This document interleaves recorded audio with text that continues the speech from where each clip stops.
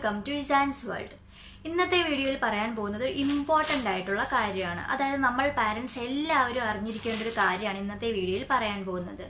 അതായത് കുട്ടികൾക്കൊരു choking Hazard ഉണ്ടായാൽ നമ്മൾ എങ്ങനെയാണ് അതിനെ പ്രിവെന്റ് ചെയ്യുക? അല്ലെങ്കിൽ ആ സമയത്ത് നമ്മൾ എങ്ങനെയാണ് പ്രതികരിക്കേണ്ടത് എന്നാണ്. വീഡിയോയിലേക്ക് കിടക്കുമ്പോൾ ഒരു റിക്വസ്റ്റ് ഉണ്ട്. നിങ്ങൾക്ക് ഈ വീഡിയോ ഇഷ്ടമാവുകയാണെങ്കിൽ തീർച്ചയായിട്ടും ലൈക്ക് ചെയ്യണം.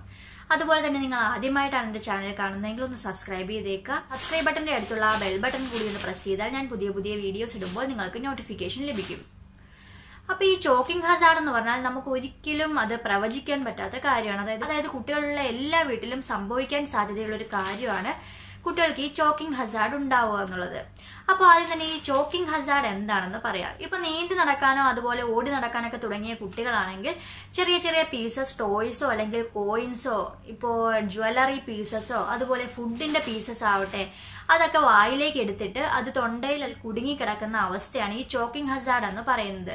ചിലപ്പോൾ നിങ്ങൾക്കും അത് ഫേസ് ചെയ്യേണ്ടി വന്നിട്ടുണ്ടാവും. അതായത് നിങ്ങളുടെ കുട്ടി എന്തെങ്കിലും ഒരു പീസ് എടുത്ത് വായിലേക്ക് ഇട്ടിട്ട് ചിലപ്പോൾ ശ്വാസം കിട്ടാതെയോ അല്ലെങ്കിൽ ചുമയ്ക്കുകയോ ചെയ്യുന്ന ഒരു അവസ്ഥ നിങ്ങൾ പലപ്പോഴും നേരിടേണ്ടി വന്നിട്ടുണ്ടാവാം. ഇപ്പൊ എന്റെ കാര്യത്തിലാണെങ്കിൽ എനിക്ക് അങ്ങനെ ഒരു അനുഭവം വന്നിട്ടുണ്ട്. അതുകൊണ്ടാണ് ഞാൻ ഇങ്ങനെ ഒരു വീഡിയോ എടുക്കാമെന്ന് വിചാരിച്ചത്.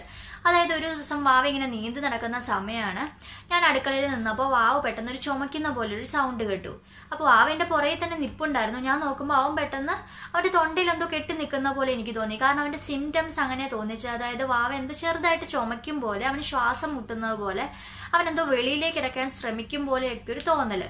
അപ്പൊ ഞാൻ പെട്ടെന്ന് ആദ്യം പേടിച്ചു പോയി പെട്ടെന്ന് ശരിക്കും നമ്മൾ പേടിച്ചു പോകാനുള്ള ചെയ്യുന്ന ആ ഒരു അവസ്ഥയിൽ നമ്മുടെ കുഞ്ഞിനെ കണ്ടാൽ ആകെ പത്ത് മാസം എട്ട് മാസമുള്ള കുഞ്ഞാണ്. അപ്പൊ അങ്ങനെ കാണിക്കുമ്പോൾ നമുക്ക് ശരിക്കും പേടിയാവൂലേ പെട്ടെന്ന് തന്നെ ആ സമനില വീണ്ടെടുത്തു. അതായത് ഞാൻ എന്തെങ്കിലും ചെയ്തേ മതിയാവുള്ളൂ. നമ്മൾ ആ സമയത്ത് പേടിച്ച് നിന്നിട്ട് കാര്യമില്ല.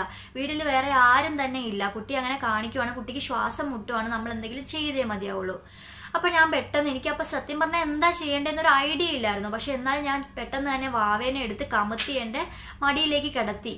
അതിനുശേഷം തല താഴേക്ക് കുനിച്ച് പിടിച്ചിട്ട് ഞാൻ ശക്തിയായിട്ട് അവന്റെ മുതുകത്തിട്ട് അടിക്കുകയാണ് ഉണ്ടായത്. അങ്ങനെ അടിച്ചപ്പോൾ അവന്റെ വായി കൂടി ഇറങ്ങി വന്ന ഒരു ചെറിയ കമ്പിന്റെ പീസായിരുന്നു അതായത് അടുക്കളയിലായിരുന്നു വിറകിന്റെ ചെറിയൊരു പീസ് എവിടെയോ കിടന്നിരുന്നത്. അവൻ എടുത്ത് വായിയിട്ടതാണ്. ശരിക്കും പറഞ്ഞാൽ നമ്മുടെ കണ്ണിൽ ചിലപ്പോൾ ആ ഒരു പീസ് പെട്ടിട്ടുണ്ടാവില്ല. പക്ഷെ കുഞ്ഞുങ്ങൾ ഇങ്ങനെ നീന്തി നിരങ്ങി നടക്കുന്ന സമയമാകുമ്പോൾ അവരുടെ കണ്ണിൽ എല്ലാവിധ ചെറിയ ചെറിയ പീസസും അതായത് ഇപ്പോൾ മുട്ടാണെന്നിരിക്കട്ടെ അല്ലെങ്കിൽ ചെറിയ ടോയ്സിന്റെ പീസസ് ആണെന്നിരിക്കട്ടെ അതും അല്ലെങ്കിൽ ഫുഡിന്റെ ചെറിയ വെജിറ്റബിൾസിന്റെ പീസസ് ആണെന്നിരിക്കട്ടെ അതെല്ലാം കുട്ടികൾക്ക് അപകടമാണ്. ആ ഒരു ചെറിയ പ്രായത്തിൽ അതായത് നീന്താൻ തുടങ്ങിയ പ്രായത്തിലൊക്കെ അത് വളരെയധികം അപകടമാണ്. കാരണം അതായത് കുട്ടികൾ ഇപ്പോൾ കൈയൊക്കെ ചലിപ്പിക്കാനായിട്ട് അറിയാൻ തുടങ്ങിയ കുട്ടികളാവുമ്പോൾ എന്ത് കിട്ടിയാലും എടുത്ത് വായിടും അപ്പൊ അങ്ങനെ ചെയ്യുമ്പോൾ ശരിക്കും ചോക്കിംഗ് ഹസാർഡ് ഉണ്ടാവാനുള്ള സാധ്യത വളരെയധികം കൂടുതലാണ്. അപ്പൊ ഞാനങ്ങനെ തട്ടിയപ്പോൾ അവന്റെ വായിൽ നിന്ന് ആ പീസ് ഇറങ്ങി വന്നതുകൊണ്ട് അപ്പൊ ശരിക്കും പറഞ്ഞാൽ വളരെ സമാധാനമായി അപ്പൊ അങ്ങനെ ഇറങ്ങി വന്നില്ലായിരുന്നു നമ്മൾ തീർച്ചയായിട്ടും ആ സമയത്ത് ഹോസ്പിറ്റലിൽ കൊണ്ടുപോകേണ്ടി വന്നേനെ. അപ്പൊ അങ്ങനെ ഒരു അവസ്ഥ നിങ്ങൾക്ക് ആർക്കെങ്കിലും ഫേസ് ചെയ്തിട്ടുണ്ടെങ്കിൽ ആ സമയത്ത് എന്താണ് ചെയ്യേണ്ടതെന്നാണ് ഞാൻ ഇന്നത്തെ വീഡിയോയിൽ പറയാനായിട്ട് ഉദ്ദേശിക്കുന്നത്. അപ്പൊ ഈ ചോക്കിംഗ് ഹസാർഡ് എന്ന് പറഞ്ഞാൽ ശരിക്കും പറഞ്ഞാൽ നേരത്തെ പറഞ്ഞ പോലെ കുട്ടികൾ എന്തെങ്കിലും ഒരു ചെറിയ പീസ് അത് എന്തും ആവട്ടെ അതെടുത്ത് വായിലിട്ടതിന് ശേഷം കുട്ടികൾ അത് വിഴുങ്ങാൻ ശ്രമിക്കുമ്പോൾ അത് നേരെ തന്നെ കുട്ടികളുടെ ആമാശയത്തിലോട്ട് പോകാതെ അത് കുട്ടികളുടെ വിൻഡ് പൈപ്പിൽ തങ്ങി നിന്നിട്ട് കുട്ടികൾക്ക് ശ്വാസം മുട്ടുന്ന ഒരു അവസ്ഥ അല്ലെങ്കിൽ കുട്ടികൾക്ക് ശ്വസിക്കാൻ പറ്റാത്ത ഒരു അവസ്ഥയാണ് ഈ ചോക്കിംഗ് ഹസാർഡ് എന്ന് പറയുന്നത്. അപ്പൊ ഈ സമയത്ത് കുട്ടികൾക്ക് ഉണ്ടാകുന്ന സിംറ്റംസ് എന്തൊക്കെയാണെന്ന് വെച്ചാൽ ഇപ്പോൾ അത് പാർഷ്യലായിട്ടുള്ള ബ്ലോക്കിംഗ് ആണെങ്കിൽ അതായത് കുട്ടികൾക്ക് ഇപ്പോൾ ചെറിയ ഏതെങ്കിലും വസ്തുവാണ് ബ്ലോക്ക് ആയിട്ടുള്ളതെങ്കിൽ കുട്ടികൾ ചുമയ്ക്കും. അല്ലെങ്കിൽ കുട്ടികൾ ശ്വാസം എടുക്കാനുള്ള ബുദ്ധിമുട്ട് കാണിക്കും. അപ്പോൾ ആ സമയത്തൊക്കെ നമ്മൾ കൃത്യമായിട്ട് ശ്രദ്ധിക്കണം കുട്ടികൾ അത് എന്തെങ്കിലും എടുത്ത് വായിലിട്ടിട്ടാണോ അങ്ങനെയുള്ള സിംറ്റംസ് കാണിക്കുന്നതെന്ന്. ഇപ്പോൾ നിങ്ങൾ കുട്ടികളെ കഫ് ചെയ്യുന്നതാണ് കാണുന്നതെങ്കിൽ കുട്ടികളെ വീണ്ടും വീണ്ടും ചുമയ്ക്കാനായിട്ട് പ്രേരിപ്പിക്കുക. അങ്ങനെ കഫ് ചെയ്യുന്നത് ആ ബ്ലോക്കായി പോയ ആ വസ്തു തിരിച്ചു വരാനായിട്ട് കാരണമാക്കും. അപ്പോൾ അതുകൊണ്ട് കഫ് ചെയ്യുന്നതാണ് ഏറ്റവും നല്ലത്. ഇനി രണ്ടാമത്തെ ഒരു സിറ്റുവേഷൻ എന്ന് പറഞ്ഞാൽ കുട്ടികൾക്ക് കഫ് ചെയ്യാൻ പറ്റാത്ത ഒരു അവസ്ഥയാണ് അതായത് കംപ്ലീറ്റ് ആയിട്ട് ബ്ലോക്ക് ആയി പോകും. ഇപ്പൊ എന്റെ മോന്റെ കാര്യത്തിൽ സംഭവിച്ചിരുന്നത് അതായിരുന്നു അവന് കഫ് ചെയ്യാനായിട്ട് പറ്റിയില്ല. ഒരു ചെറിയ സൗണ്ട് മാത്രമാണ് ഞാൻ വെളിയിൽ കേട്ടത്. അപ്പൊ ആ സമയത്ത് കുട്ടികൾക്ക് ശ്വാസം എടുക്കാനായിട്ടുള്ള ബുദ്ധിമുട്ട് കാണിക്കും. അവരുടെ കണ്ണൊക്കെ ചിലപ്പോൾ വിടർന്നു വരും.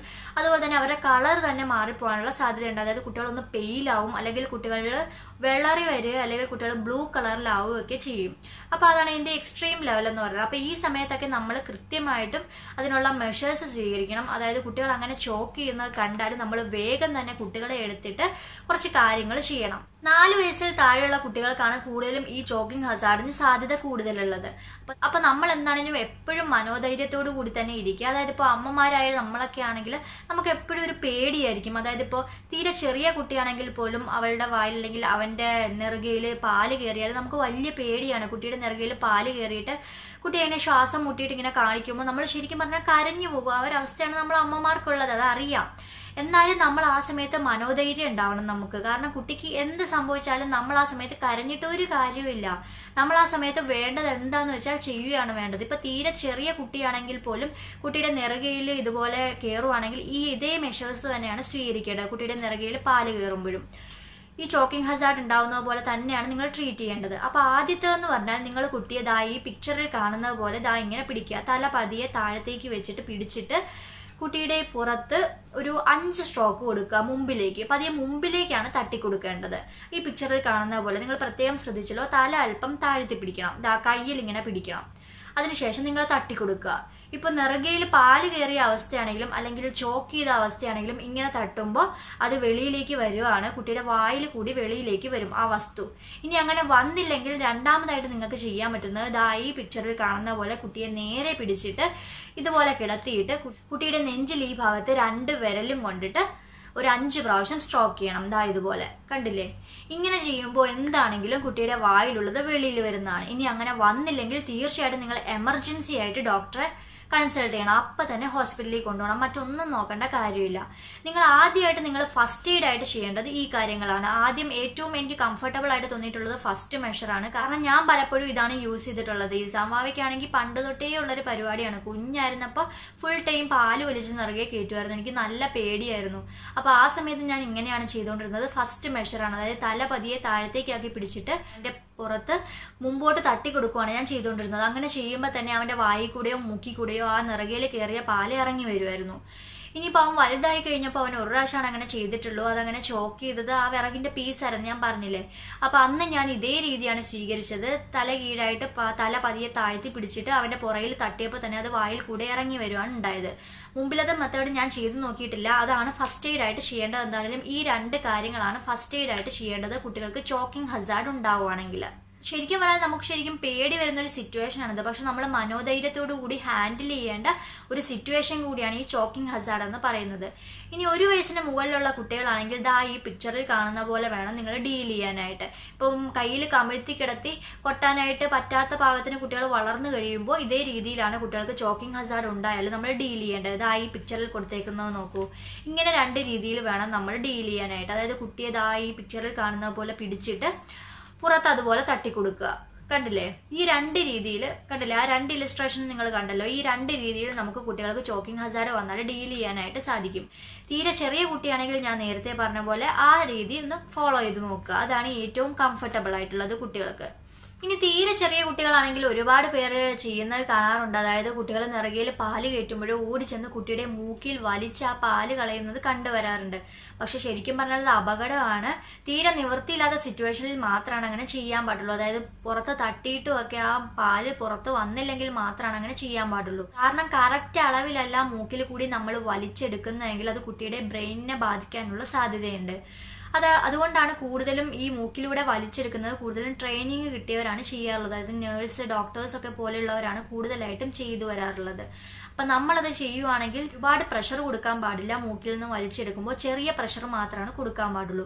എന്താണെങ്കിലും ആദ്യം നിങ്ങൾ ഈ സ്റ്റെപ്സ് ഒക്കെ ഒന്ന് ഫോളോ ചെയ്ത് നോക്കുക. കുട്ടികൾ എന്തെങ്കിലും ചോക്ക് ചെയ്യുകയാണെങ്കിൽ അല്ലെങ്കിൽ കുട്ടികൾ പാൽ നിറകെ കയറുവാണെങ്കിലൊക്കെ നിങ്ങൾ ഈ ഒരു മെത്തേഡ് ഫോളോ ചെയ്ത് നോക്കുക. ഇനി ഈ കുട്ടികളുടെ ഈ ചോക്കിംഗ് ഹസാർഡ് പ്രിവെന്റ് ചെയ്യാനായിട്ട് നമുക്ക് എന്താണ് ചെയ്യാൻ പറ്റുന്നതെന്ന് വെച്ചാൽ നമ്മൾ രാവിലെ എണീക്കുമ്പോൾ തന്നെ കുട്ടി നടക്കുന്ന സ്ഥലം എല്ലാം ഒന്ന് സെർച്ച് ചെയ്യുക. അതായത് എന്തെങ്കിലും ഒരു ചെറിയ സാധനം കിടപ്പുണ്ടോ എന്ന് നോക്കുക. ഇപ്പം മുത്താവാം. ഞാൻ നേരത്തെ പറഞ്ഞ പോലെ വിറകിന്റെ ഒരു ചെറിയ പീസ് ആയേക്കാം. അല്ലെങ്കിൽ ജ്വല്ലറിയുടെ പീസ് ആയേക്കാം. അതും അല്ലെങ്കിൽ കോയിൻസ് ആയേക്കാം. അതും അല്ലെങ്കിൽ കുട്ടി കളിക്കുന്ന ടോയ്സിന്റെ പീസസ് ഒക്കെ ആയേക്കാം. ഇതെന്തെങ്കിലും ചെതറി കിടപ്പുണ്ടോ എന്ന് നോക്കുക. ഉണ്ടെങ്കിൽ അപ്പം തന്നെ പിറക്കി മാറ്റുക. അത് ഡെയിലി റൊട്ടീൻ ആക്കി എടുക്കുക. ഞാൻ ശരിക്കും പറഞ്ഞാൽ രാവിലെ എണീറ്റ് വരുമ്പോഴേ അതാ ചെയ്യാറുള്ളത്. ചെറിയ ചെറിയ പീസസ് എന്താ കിടക്കണേന്ന് വെച്ചാൽ അതൊക്കെ എടുത്ത് മാറ്റും. ഇപ്പൊ ചെറിയ പേപ്പർ കഷ്ണാണെങ്കിൽ പോലും ചെറിയ പീസസ് ഒന്നും കിടക്കാതെ എടുത്തു മാറ്റുക ഇനി രണ്ടാമതായിട്ട് ശ്രദ്ധിക്കേണ്ടത് കുട്ടിക്ക് ഫുഡ് കൊടുക്കുമ്പോൾ അടുത്ത് തന്നെ ഉണ്ടാവുക. ഫുഡിൽ നിന്നും ഈ ചോക്കിംഗ് ഹസാർഡ് അധികമായിട്ട് ഉണ്ടാവാറുണ്ട്. അതുകൊണ്ട് തന്നെ ഫുഡ് കഴിക്കുമ്പോൾ അടുത്തുണ്ടാവുക. ചെറിയ ചെറിയ പീസസ് മാത്രം എടുത്ത് വായിൽ വെക്കുന്നുണ്ടെന്ന് ഉറപ്പുവരുത്തുക. ഇനി മൂന്നാമത്തത് ഇതുപോലെ തന്നെ എന്തെങ്കിലും ബലൂണിന്റെ പീസസ് ഒക്കെ ഉണ്ടോ ശ്രദ്ധിക്കുക. ബലൂണിന്റെ പീസസ് ഒക്കെ അധികമായിട്ട് ഈ ചോക്കിംഗ് ഹസാർഡ് ഉണ്ടാക്കുന്ന വസ്തുവാണ്. പിന്നെ ലാസ്റ്റ് ആയിട്ട് ശ്രദ്ധിക്കേണ്ടത് കുട്ടികൾക്ക് അധികമായിട്ട് ലോക്കൽ ടോയ്സ് ഒന്നും കൊടുക്കരുത്. കാരണം നമ്മളിപ്പോൾ സാധാ കടയിൽ നിന്ന് വാങ്ങുന്ന ചെറിയ ചെറിയ വില കുറഞ്ഞ ടോയ്സ് ഒക്കെ ആണെങ്കിൽ അത് എളുപ്പം തന്നെ പൊട്ടിപ്പോവാൻ സാധ്യതയുണ്ട്. അതുപോലെ തന്നെ അതിന്റെ സ്ക്രൂസ് ഒക്കെ വിട്ടു പോകാനൊക്കെയുള്ള സാധ്യതയുണ്ട്. അതുകൊണ്ട് തന്നെ അധികമായിട്ടും അങ്ങനത്തെ ടോയ്സ് ഒക്കെ കൊടുക്കണ്ട. കുട്ടികൾക്ക് ടോയ്സ് കൊടുക്കുവാണെങ്കിൽ തന്നെ നല്ല ടോയ്സ് മാത്രം കൊടുക്കുക. അങ്ങനെ സ്ക്രൂ ഒന്നും അഴിഞ്ഞു പോവാത്ത അതിന്റെ ടയർ ഒന്നും അഴിഞ്ഞു പോവാത്ത ടൈപ്പ് ചെറിയ ചെറിയ വണ്ടികളോ അതുപോലെയുള്ളതൊക്കെ കൊടുക്കുക കുട്ടികൾക്ക്. ഒരിക്കലും കുട്ടികൾക്ക് ലോക്കലായിട്ടുള്ള പെട്ടെന്ന് വിട്ടു പോരാൻ പാകത്തിലുള്ള ടോയ്സ് ഒന്നും കൊടുക്കരുത്. അതൊക്കെ കുട്ടികൾക്ക് ചോക്കിംഗ് ഹസാർഡ് ഉണ്ടാവാനുള്ള സാധ്യതയുണ്ട്. കുട്ടികൾ അത് കടിച്ചു പൊട്ടിച്ചിട്ടാണെങ്കിലും അതിന്റെ പീസൊക്കെ എടുത്ത് വിഴുങ്ങാനുള്ള ചാൻസ് ഉണ്ട്. അതുമൊക്കെ നിങ്ങൾ പ്രത്യേകം ശ്രദ്ധിക്കുക. അപ്പോൾ കുട്ടികൾക്ക് ചോക്കിംഗ് ഹസാർഡ് ഉണ്ടായാലും നമ്മൾ ഇത്രയും കാര്യമാണ് ശ്രദ്ധിക്കേണ്ടത്. ശരിക്കും പറഞ്ഞാൽ ഞാൻ നേരത്തെ പറഞ്ഞ പോലെ ഈ സമയം എന്ന് പറഞ്ഞാൽ നമ്മൾ മനോധൈര്യം വീണ്ടെടുക്കേണ്ട സമയമാണ്. അമ്മമാരെന്ന് പറഞ്ഞാൽ എപ്പോഴും പേടിച്ചിരിക്കാൻ മാത്രമുള്ളതല്ല. നമ്മളുടെ കുട്ടികൾക്ക് എന്തെങ്കിലും വന്നാലും നമ്മൾ ഒരിക്കലും ഫസ്റ്റ് കരയുമല്ല വേണ്ടത്. നമ്മൾ എന്താ ചെയ്യേണ്ടതെന്ന് വെച്ചാൽ ആദ്യം അത് ചെയ്തതിന് ശേഷം നമ്മൾ അതൊക്കെ നീക്കിയതിന് ശേഷം വേണമെങ്കിൽ സമാധാനമായിട്ട് കരഞ്ഞോളൂ. അതാണ് ഏറ്റവും നല്ലത്. നമ്മൾ കുട്ടിക്ക് എന്ത് വന്നാലും അപ്പോൾ അതിനെ നേരിടാൻ പാകത്തിന് തയ്യാറായിട്ടിരിക്കണം. പ്രത്യേകിച്ച് ഒരു അമ്മയാവുമ്പോൾ നമ്മൾ മെയിനായിട്ട് മനസ്സിൽ കരുതേണ്ട ഒരു വസ്തുതയാണത്. കാരണം കുട്ടിയുടെ നിറകയിൽ എപ്പോൾ വേണേലും കയറിയേക്കാം അതായത് ഇപ്പോൾ പാലാണെങ്കിലും അല്ലെങ്കിൽ ഫുഡ് കൊടുക്കാൻ നോക്കുമ്പോൾ ഫുഡാണെങ്കിലും ഒക്കെ. അപ്പോൾ നമ്മൾ ഏത് സമയവും എന്തും പ്രതീക്ഷിച്ചിരിക്കുക എന്തും നേരിടാനായിട്ട് തയ്യാറായിട്ടിരിക്കുക. കുട്ടിയുടെ കാര്യത്തിൽ നമ്മൾ എപ്പോഴും അങ്ങനെ വിജിലന്റ് ആയിട്ടിരിക്കേണ്ടത് അത്യാവശ്യമാണ്. പ്രത്യേകിച്ച് നമ്മൾ അമ്മമാർ നമ്മളാണല്ലോ അവരുടെ കൂടെ എപ്പോഴും ഉള്ളത്. അപ്പോൾ എന്താണെങ്കിലും നിങ്ങൾ എല്ലാവരും ഈ കാര്യം ശ്രദ്ധിക്കുക. കുട്ടികൾക്ക് എന്തായാലും അങ്ങനെ ഒരു സിറ്റുവേഷൻ വന്നാൽ മനോധൈര്യത്തോടെ അത് ഡീൽ ചെയ്യുക. ഇപ്പൊ നിങ്ങൾ ഈ ഫസ്റ്റ് എയ്ഡ് കൊടുത്തിട്ട് അത് പുറത്തേക്ക് ഇറങ്ങി വന്നില്ലെങ്കിൽ നിങ്ങൾ തീർച്ചയായിട്ടും അപ്പം തന്നെ ഒരു ഡോക്ടറെ കൺസൾട്ട് ചെയ്യുക. അപ്പോൾ എന്തായാലും ഞാൻ ഇന്നത്തെ വീഡിയോ വൈൻഡപ്പ് ചെയ്യുകയാണ്. നിങ്ങൾക്ക് ഈ വീഡിയോ ഉപകാരപ്രദമായിട്ടുണ്ടെങ്കിൽ തീർച്ചയായിട്ടും ലൈക്ക് ചെയ്യുക. നിങ്ങളുടെ അഭിപ്രായങ്ങളും സംശയങ്ങളും കമന്റ് ചെയ്യുക. അതുപോലെ ചാനൽ സബ്സ്ക്രൈബ് ചെയ്യാത്തവർ തീർച്ചയായിട്ടും സബ്സ്ക്രൈബ് ചെയ്യുക. സബ്സ്ക്രൈബ് ബട്ടന്റെ അടുത്തുള്ള ആ ബെൽ ബട്ടൺ കൂടി ഒന്ന് പ്രസ് ചെയ്താൽ ഞാൻ പുതിയ പുതിയ വീഡിയോസ് ഇടുമ്പോൾ നിങ്ങൾക്ക് നോട്ടിഫിക്കേഷൻ ലഭിക്കും. അപ്പോൾ അടുത്ത വീഡിയോയിൽ കാണും വരെ. Bye bye